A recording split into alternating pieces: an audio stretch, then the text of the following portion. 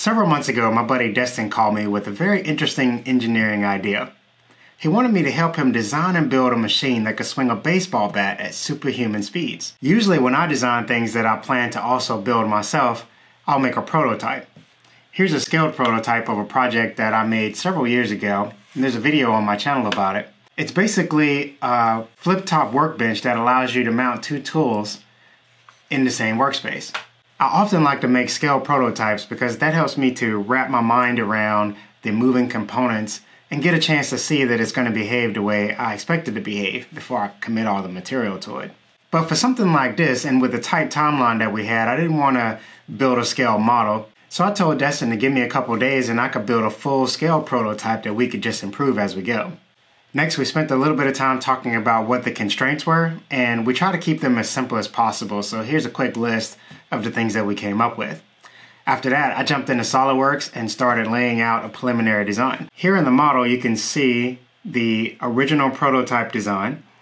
The basic idea was to have a nice wide base so that it'd be stable. There's all this empty space on the inside, which would allow us to add sand or maybe uh, concrete if we wanted to weigh it down. We later figured out that that wasn't required. It was actually pretty stable without adding anything to the inside. Here you can see the first motor that I selected. This is a 2 horsepower single phase motor. You can tell by the little capacitor box there on the side. It turns out we ended up needing a whole lot more power than that, but we'll come back to that in a little bit. Over here you can see the flange bearing on the inside that has corresponding flange bearing on the outside. And that's what was stabilizing this whole platform here. So I give you a quick section cut and you can see inside. There we go. There's a space offsetting the flange bearings makes it more stable and you get a little bit better look at the motor on the inside. Here's the sliding plate which allows us to tension the belt and then later on Destin came up with this idea of adding a wedge in order to uh, put the tension on the belt and I incorporated that into the design. Here are the bats on top, and we sort of went back and forth about how we wanted to manage this. The first idea was to add an adjustable weight on one side and have a belt on the other side. But after a little bit of discussion, we decided that having two bats basically doubles our chances of hitting the ball, and it also makes it a little bit easier to set up. If you put both bats in and they're the same brand and size, they should balance each other out pretty well. And that turned out to be true. Here are just some handles on the side which would allow us to load and unload it. Here you can see the sliding mechanism which allows us to adjust the angle of the bat. But again, because this is a prototype, it was evolving all the time. So we ended up putting a piece of wood in this corner here and just screwing it into the side. And that ended up being a really good modification as opposed to just having fasteners holding the side and possibly sliding down out of place. There's several more things we need to consider before we start building anything. And the main one is safety. We've got to think about the pitcher, who's going to be Destin in this case. We've got someone controlling the mechanical batter, myself. We've got the high speed camera, which is Trent in this case. And all of these people are exposed to possible breaking bats and extremely high velocity balls. This led to us building several barriers, some for the camera, some for the uh, pitcher himself. And in fact, when we got out to the baseball field, we added a few more barriers just to add a little bit more safety. The other thing that we have to consider is what happens when we break a bat. We've all seen major leaguers break baseball bats, and they're swinging the bat at 70 to 90 miles an hour. I'm hoping to swing a bat at least double that speed, so it's pretty much guaranteed I'm going to break a baseball bat. We ended up building in two safety measures. The first one was uh, vibration sensor. We know that when you break one of the bats, what you end up with is a huge offset load that turns our machine into an industrial shaker. And we definitely don't want that. So the vibration sensor should be triggered when the machine starts wobbling around. And the second was a built-in function for the VFD or the speed controller I was using for the motor. It has an electric brake option, so I set up a relay to be triggered whenever the vibration sensor goes off it also turns on the electric brake, which should uh, make the motor stop. It turns out the electric brake wasn't as effective as I had hoped. Once the batter was up to speed, the current flowing through the motor was so high that it would actually trip the breaker on the motor and turn off the electric brake. So the braking part ended up being not as effective as I had hoped. In the future, I will use something, I will use a mechanical brake. Well, the next thing to do is to build a prototype and start testing this thing. So I got my two horsepower motor loaded up. We put the bats on top and jumped this thing out in the yard for some preliminary testing. Moments like this, safety glasses don't feel like enough. Dude, I can hear the helicopter sound from here. My heart is like seriously pounding right now. You can't feel how intense that is, but that's freaking scary, man. And that's only half the speed. Okay, so far there are no signs of anything sliding or coming out. Let's try 50 hertz. That's as fast as I'm gonna be able to go with this pulley set. But as far as I can tell, the motor is not taxed. I think we got more speed left.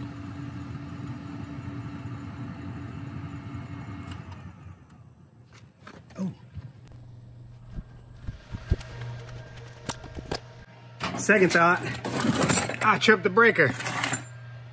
Well, we just missed it, but I can smell the smoke.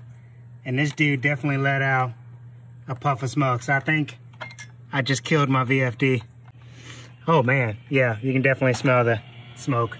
It turns out that it wasn't terribly hard, even with the two horsepower motor, to get up to about 100 miles an hour. But after that, we started running into significant drag. If you look at the drag formula, you can see that there's this velocity squared, and that ended up being a massive problem. In fact, as a rule of thumb, people often say that if you double the speed, you need literally four times the power. And that was true in our experiments as well.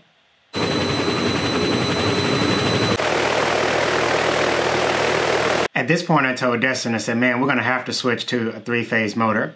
Three phase motors produce a much smoother torque, and there are way more options as you get up into the higher horsepower ranges. You typically don't find single phase motors above about 10 or so horsepower. In fact, that's where I decided to start 10 horsepower.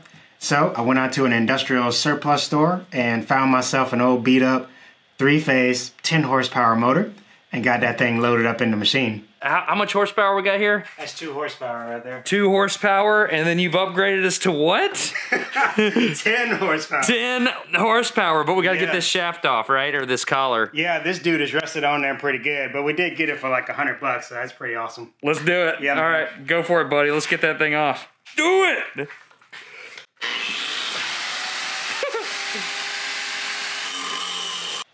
Now, when your design is evolving like this and everything is still in a prototype stage, this is where you have to be the most careful. We now have a motor that is significantly heavier and literally five times the torque of the original motor.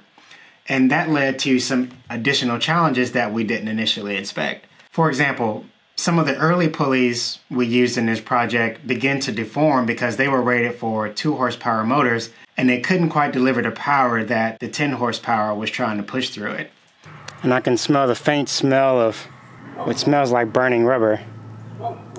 But I don't know.